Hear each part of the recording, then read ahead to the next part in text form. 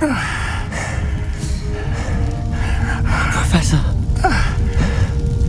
Miriam.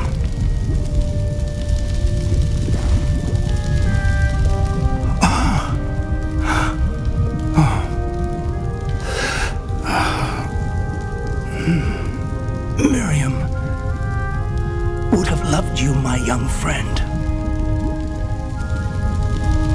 The wizarding world could not be in more capable hands.